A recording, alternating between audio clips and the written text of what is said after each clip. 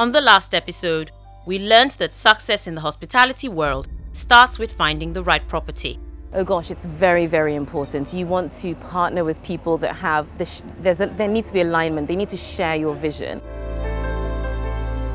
And when it comes to staying afloat in the property scene, cash is king. The real estate market in Nigeria is a very cost intensive one. Um, so you, you, you, you have to have a deep pocket, you know, to go into it.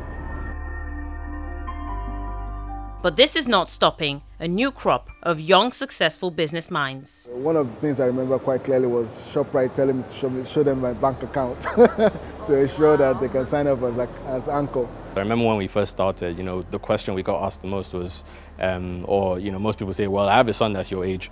Um, why should I give you all this money? Or what have you done, you know, before? As a young architect, even in this environment where we do have a bit of ageism, yeah. again, you know, um, you're so conscious, and I think just that drive of being hungry and being aware that I have a statement to make, you put in an extra effort. When you're talking to a local investor who you've known for five, sometimes for 10 years, you have to show them the money. But is this enough to make it big as a young person in the real estate world?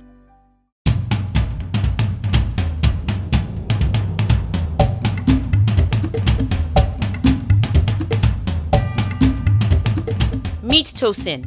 She went from being a curious, art loving 12 year old to running a successful architecture firm in Lagos.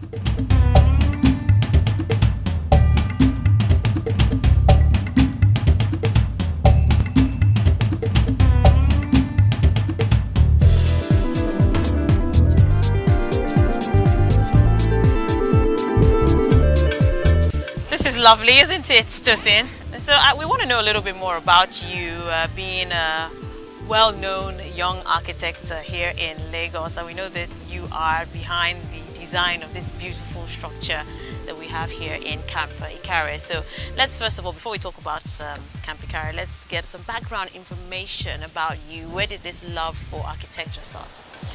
Ooh, um, architecture. It's it's been architecture for a very long time actually. Um, probably about the age of I think 12. Uh, my dad was building a house in Ikorodu, you know, a country home, and I was the only one who was particularly interested in the floor plans when they came home. I picked out my room quickly and I, I showed a lot of interest. I used to go to site with him and I had always excelled in art in school. Um, I have an uncle who's a famous Nigerian artist, Kolade Oshinowo, and so everyone was like, oh, she's taking after Uncle Kolade. But uh, my parents were more inclined at that stage for me to do something more science-based. So architecture was marrying both worlds, a bit of science and a bit of art. So that was really where it came from. And what has that journey been like? I mean, obviously to get to this point where you're working on some of these uh, amazing projects. Prior to Kamp Ikare, I had worked for a practice here locally and I'd done a lot of stuff that was standable, a lot of housing, office development, some commercial. But this as an office was our first project. I think also as a young architect, you're quite conscious that you have a lot to prove. Um, in an environment, architecture anywhere in the world is, is, is a profession of experience, an apprentice. So you work for someone, you understand the ropes, you understand the things to avoid before you set up on your own. I mean, in Europe, young architects are people in their 40s, and this is a given. So um, as a young architect, even in this environment where we do have a bit of ageism, again, you know, um, you're so conscious, and I think just that drive of being hungry and being aware that I have a statement to make, you put in an extra effort. What's the vision behind this uh, project that we have here in Kamp So what, because obviously, you know, you came here and I believe there was an existing yes, uh, yes, yes. and then we looked at it and must have seen something. So tell us what it is that you're trying Yes, so my client actually bought this off a family who are leaving Nigeria and um, we inherited the six chalets at the front um, and we inherited an, a, beach, a beach house that was sitting here as well. Um, the original concept for the beach house was that you would go up a series of steps and then you would see the sea and then you would have to go down to the pool and you had the chalets at the front and the first time I came here I thought oh this is nice but I think we can do something different and I think anytime you inherit a project you should add value yeah. you take the good that they've had and you put on top of that which one of your projects would you say has been the most difficult I mean I know we're still going to talk a little bit more about uh, your most recent project yeah. the uh, Maryland Mall. Yes. Which is a huge achievement, by the way. uh, but which one would you say has been the hardest for you? I think they all have their challenges, um, but the challenges are different. But I think um, I can't really answer that question. Um, I think the reality is that with any form of project, is about making sure that the people who are delivering it understand your vision and are consistent. And it's important to constantly remind them what you're trying to achieve. Maryland Mall, I know we're going to go there, but that's Yeah. a major one. Um, Yes. All over the news. It's an amazing structure that you put up. Yeah.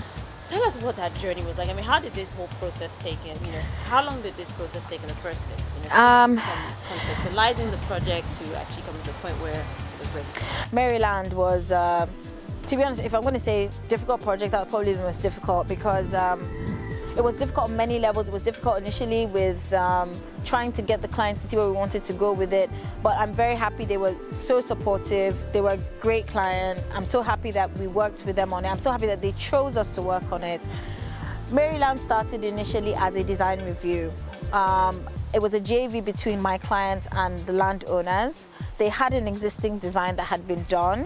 We were initially called in to review that design and um, it was eventually decided that we should go with a new scheme. The outside of the mall, which has also been the very interesting bit, um, we painted it black and everyone is like, why? You know, I actually black. I love it. it was it was a it was initially a difficult sell because I mean you tell any client I want to paint your building black they're like uh no people are gonna think we're doing something negative in here but it was to create a silhouette so it's almost like a Pandora's box you know it disappears and it's everything on the outside and then when you go in you get this nice magic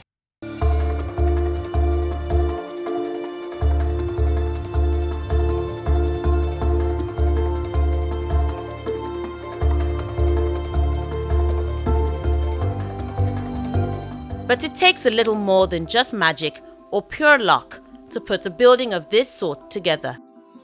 Tosin's clients, Obinna and Laide, both under 40, are the brains behind this 5 billion naira retail center in Lagos. They managed to convince investors that their project was a bankable one. It's quite interesting what you've done here, Laide. I mean, two young guys and you've come up with this huge mall here in Maryland. So I want to know how all of this started. So I just want to hear the story. You know, where did this all start from? Where did this all start from? Um, I think, uh, of course, we're coming from some past experiences. We've been working together for some time. We came together and decided to set up Purple Capital Partners. And, you know, we were looking for transactions to do at that point in time. We did our first transaction, and then this came as our next transaction, which was far bigger than we actually anticipated. And we wondered how to get it done and sold and, and, and dusted with. We signed the deal. and definitely did not have all of the money, if enough money. So how did you, I I mean, that was going to be my next question. How did you get the funding together to do this? Because I guess that's the question on the minds of most people. The most important thing is uh, the courage to get on, to get on with it. Uh, when we decided to go along, uh, we decided to put uh, some of our profit from our previous transactions into this as seed capital to, to get the ball rolling. I think uh, one of the things I remember quite clearly was ShopRite telling me to show, show them my bank account to ensure that they can sign up as, as Anchor. Um, and then, funny enough, all of these monies came in from local uh, partnership, local investors, local uh, banks. Um, but it shows uh, the belief in the project and the belief in, in what we have done as well. Are you in a comfortable uh, position right now? You know, because when you think of obviously, you know, you've taken out quite a lot of funding to get this started. Do you sleep at night? I think maybe we should ask my neighbor, right? um, I don't think anybody that is um, in the Nigerian marketplace today sleeps thoroughly at night um, because the market is obviously turbulent, but in that turbulence is where the opportunities lie. What other challenges have you faced along the way? Maybe besides obviously the hurdle of getting funding to actually start the project. I think challenges started from the one, securing the deal in the first place. By the way, who are you and why should we sign with you? Can you imagine? Yeah, especially being young. Well, I think uh, somebody once told me nobody is young any longer, right? but then uh, you have to consider most of these things because you know you, you have to understand the psyche of the Nigerian investment investor base and the, what they think of young people, uh, what they expect from young people, which is not always all positive. But you know, I think with the economic situation, people need to start taking us very seriously.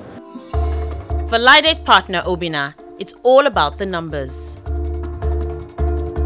The simple thing is that when you're talking to a local investor who you've known for five, sometimes for some 10 years, you have to show them the money. If you show them the money, money will always want to go towards, gravitate towards where value will be created. So that's simple. Show them the business model, show them how it's going to work, show them how they are going to make money, and also tell them that this is a long-term project and that the rewards will also compensate for them staying for, staying for that long term. At the same time, we are in a recession right now, so isn't this a difficult time to go into the retail business? Retail has tremendous opportunities, all right? So for instance, in retail, you don't have to, the minimal transaction value can be 500 naira. But if you're doing other sectors, minimum transaction value can be 100,000 naira, 100,000 naira. So in as much as you can feel the trend, it has the least impact because there's always money flowing in retail. The question is how do you position your transaction or your business to tap into that, that, that pipe? And what does the future hold for you? I mean, do you have big plans to maybe do this again? What's next? We, we, we believe that there's opportunity to play, to grow the formal retail space in Nigeria, right? I don't believe that being, I mean, right now, Nigeria is the 20th biggest economy in the world on a PPP basis. Now, according to PwC and World Bank, that is expected to go to number 16 in 2030, number 9 in 2050. Nine biggest economy in the world by 2050. Now, where else do you want to play? It's here. Who's going to provide the infrastructure to grow that space? Private sector investors like us. And now, for us as young entrepreneurs, we're taking the risk. We're coming in now. We're demonstrating that the next generation of entrepreneurs are here to drive that trend and keep it flowing. So imagine if we're doing it on this scale and in the next 15 years, we have this kind of development all over Lagos. It creates um, a lot of job opportunities for, local, for the local environment. It redefines the Lagos um, skyline as well, and it creates, it creates jobs. Obinna, let's leave it there. I wish you an enormous amount of luck. I'm very proud of what you've done here, and I can't wait to see what you come up with next. Thank you.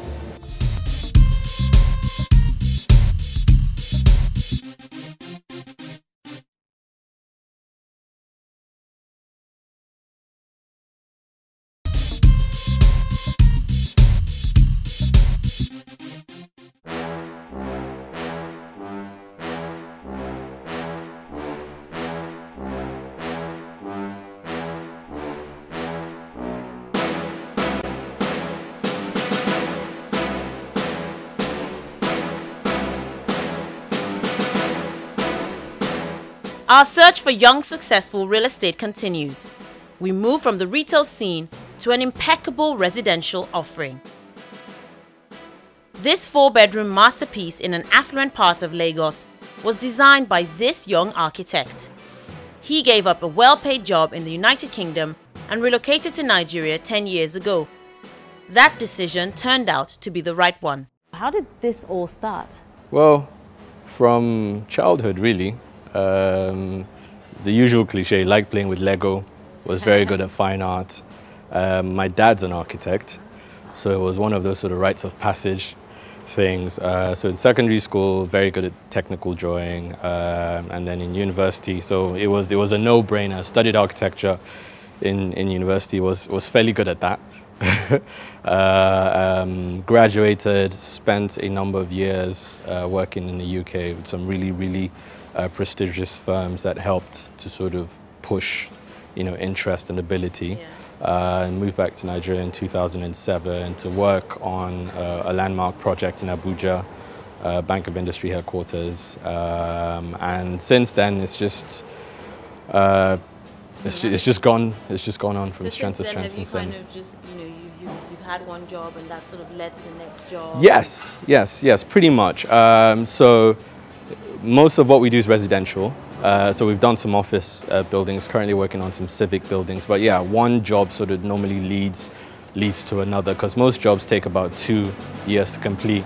anyway. So as we're working on one job on site, we're starting the design of another one, getting to tender. So usually it's like a lap. We finish one, move on to the next one, you know, sort of thing. Do you sometimes find that, um, you know, being young, has it sort of held you back in any way? Do people meet you and say, oh, this is a very young architect and I'm bringing on to... Uh... Um, not really, not really. I mean, we're in a patriarchal society and you know we're Yoruba so you sort of there's the issue with elders parents and whatever else um, it, it's funny because where I find that I'm stuck between sort of two generations um, so uh, clients are usually quite older because you know they, they have more access to means uh, and the money to deliver uh, some of these projects and then also on, on, on, the other side you know we're not that much older than uh, students and other architects who are just sort of coming out of university who we have to work with. So, you know, it's, it's, a, it's a fine balance. And I mean, with anything else, if, you know, the fact that you're sort of younger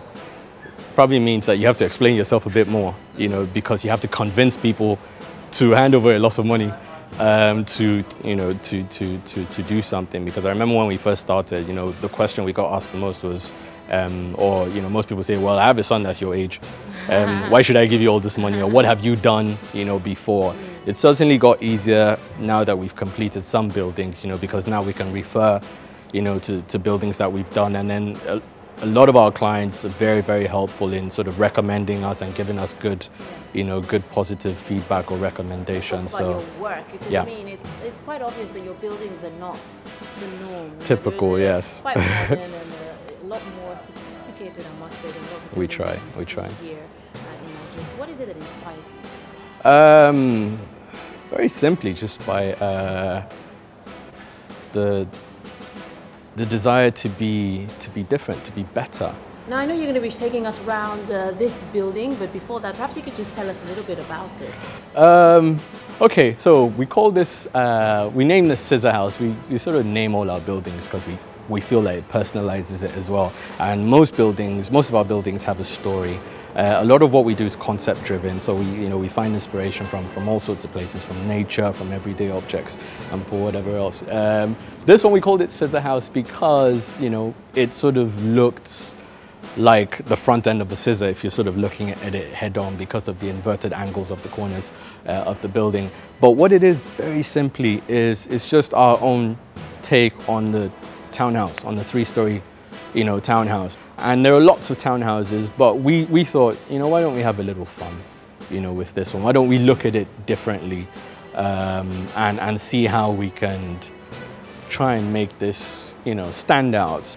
Pretty much everything here, except maybe the tiles, were made and bought in Nigeria. You know, the windows, you know, the door, um, the hinges, the, the, the, the Tyrolean finish as well. And I would like to walk through the building Let's go, let's go, let's go.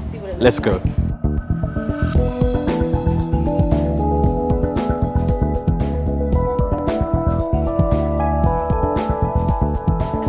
So you come in through the front door.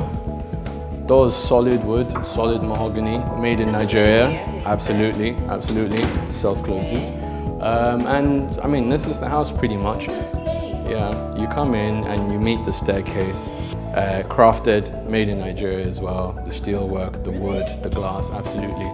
Uh, we've got a skylight at the top that lets light right through uh, over the entrance and then so the landings act as bridges between the two sides of the house. So like I said, quite small house. You've got the den, yeah, I know it does because of the way we molded it.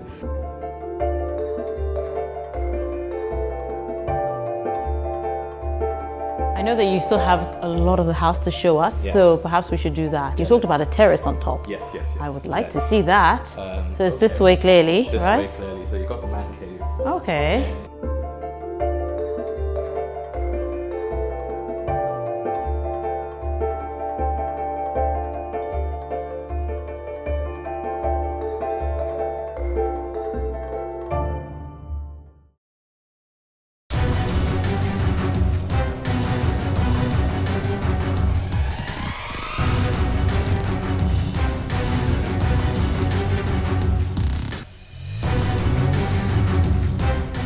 And our property tour doesn't end there. Just a few minutes down the road is this unique structure, also designed by another young architect.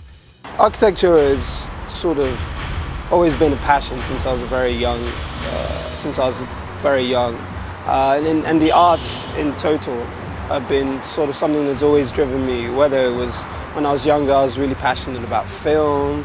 I was really passionate about literature, and I was really passionate about fine art. Uh, and for me, sort of architecture was like the culmination of all my interests. It's no surprise that this artistic flair drove him into the property design space. Let's start with this beautiful building. Uh, certainly a very interesting building. I guess since we're standing right here, a good place to start will be for you to tell me the vision behind this piece of art. I might as well call it art. Uh, I've never seen anything like it here in Lagos. Uh, yeah, the building, what's, what's so great about this building is that it came, it came through a long uh, working process. It was really trying to tell a story, partly about the history of the site and also about the history of the area and how much it's changed. Uh, it was an existing commercial building from the early 70s that stood here previously, and it was one of the few commercial buildings within this quite residential enclave. Uh, and what, what we try to do is obviously we're retaining it for commercial purposes, but I think what our vision was was to look back and to try and re-engage the building in what this area used to be like. And used to be like a really beautifully tree-lined street. So I think one of the important things for us was to see if we could create an experience for the users that sort of took them back in time slightly and also had a really strong sense of sustainability, uh, really promoting uh, a new way of thinking about architecture, not just in terms of the sculptural elements, but also in terms of the environment. It's very obvious that you're not just an architect, you also have a love for art and you've created this fusion between art and architecture. So I wanted to perhaps tap into your brain and get a sense of your vision or what is it about art and architecture that you think fits so perfectly together? Um, I think for the starting point for us was like we see architecture as the art of manipulating space. It's about creating experiences. Uh, and I think central to, I, I, think the reason art is so important for us as a firm and me as an individual is that it gives us um, an opportunity to find distinctive reference points. Uh, what I mean by that, we do a lot of collaborations in, in our work. We try and work with artists on specific themes within buildings, or we use art as um, a conceptual idea that starts off what the project may end up being. And that can be anything from a, a painting to a film or to a sketch from an artist. And I think that allows us to hone in uh, our own ideas a little bit better. And as if this gorgeous building isn't enough, you also have uh, some other really interesting uh, buildings uh, that you've put up. There's one that caught my eye on the mainland. Uh, so let's talk about some of these alternative buildings of yours. Um, you said, we've done some really great buildings. Uh, I mean, it was great to be a part of the Making Africa exhibition, which was at the Guggenheim Museum. And one of the projects that we did, uh, the sanctuary was within that. Uh, it was really another exciting project we did, which was uh, with the University of Lagos and GT Bank. Uh, University of Lagos alumni and GT Bank. And what was really exciting about that was about taking a corporate organization and an institution and also the student body and finding a way to, to merge these three elements together. It's clear that these young property entrepreneurs have a lot more in common than we thought. A love for the arts, an eye for detail, and the ability to walk their talk and play the right cards in the capital intensive property game. On the next episode, we take you on a tour of Africa's most luxurious residential homes. We explore some of the continent's property masterpieces and speak to the faces behind the buildings.